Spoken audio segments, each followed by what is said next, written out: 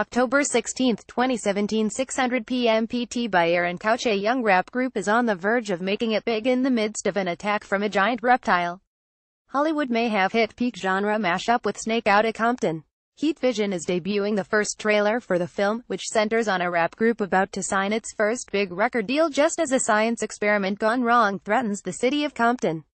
A quick look at the trailer reveals a lot going on. There's a little bit of training day, Snake on a plane and straight out of Compton, plus a thick glasses wearing nerd monster creator whose style may seem familiar 90s kids. Hank Braxtan directs the project, which he wrote with Tim Johnson, and brothers James Kondelik and John Kondelik. Snake Outta Compton is from Automatic Entertainment, which will be shopping the film at next month's American Film Market.